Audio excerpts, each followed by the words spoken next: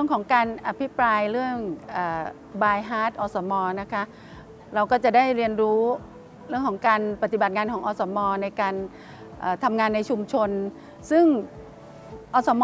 ทุกท่านที่มาอภิปรายเนี่ยเขาได้เอานวัตกรรมหรือว่าองค์ความรู้นะคะ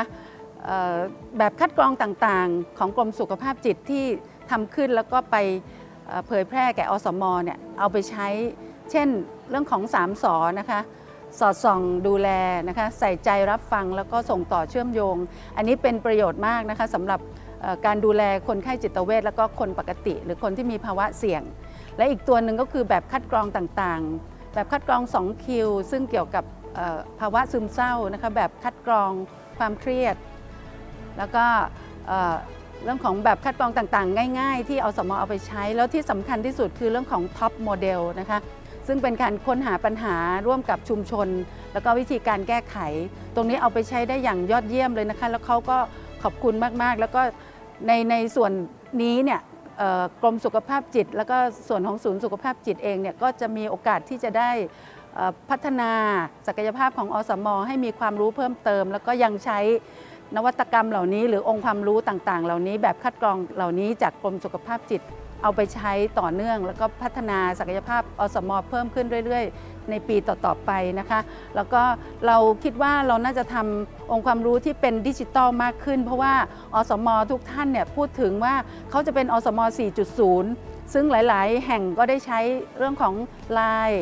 Official นะคะและ Facebook นะคะในการติดต่อในการให้ข้อมูล ซึ่งกันและกันตรงนี้ก็มีประโยชน์ ซึ่งตรงนี้ศูนย์สุขภาพจิตเองเนี่ย ก็จะต้องพัฒนาสิ่งเหล่านี้ขึ้นมา โดยที่พัฒนาองค์ความรู้นำไปสู่อสมโดยผ่านสื่อดิจิทัลเหล่านี้นะคะเพื่อให้รู้เท่าทันกับอสมนะคะก็จากการอภิปรายเหล่านี้เราก็จะได้รับรู้ว่าอสมทุกท่านเนี่ยต้องใช้ความอดทนมากๆนะคะใช้ทั้งกำลังกายกำลังใจในการทำงานเป็นอาสาสมัครนะคะด้านสาธารณสุขเหล่านี้แล้วก็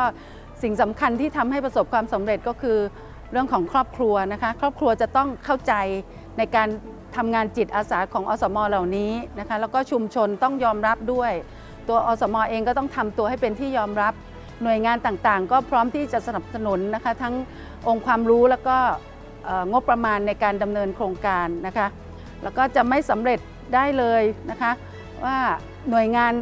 ต่างๆนะคะที่เกี่ยวข้องทั้งนอกและในระบบราชการเนี่ยจะต้องเข้ามามีส่วนช่วยเหลืออสม แล้วก็ผลักดันตรงนี้ แล้วมีอยู่มีอยู่สิ่งหนึ่งที่ดิฉันชอบมากเลยก็คือว่าอสม เหล่านี้เวลาเขาช่วยเหลือคนไข้จิตเวชเนี่ยเขาจะไม่เหมือนไม่เหมือนให้ปลากับคนไข้จิตเวชนะคะเขาจะไม่ช่วยเหลืออย่างเดียว เขาจะหาทุนให้คนไข้เพื่อไปอประกอบอาชีพเลี้ยงตัวเอง เพื่อที่จะพึ่งตัวเองได้ไม่ต้องไปพึ่งพาชุมชนหรือสังคมตลอดไปค่ะ นี่เราก็จะได้เห็นความสำคัญของอสมนะคะเพราะว่ากรมสุขภาพจิตเองเนี่ยในเรื่องของการทำงานสุขภาพจิตเราทำเองไม่ได้ทั้งหมดนะคะ เราก็ต้องช่วยช่วยกันกับอสมนะคะเราสนับสนุนเขาได้ในเรื่องขององค์ความรู้ เพราะว่ากรมเราเป็นกรมวิชาการเราไม่สามารถทำให้ประชาชนทุกๆ คนในในชุมชนได้นะคะ ก็ต้องอาศัยอสม ก็ต้องต้องขอบคุณอสม ทุก ๆ ท่านนะคะที่เสียสละ ทำสิ่งดีๆ ให้กับประชาชนของท่านค่ะ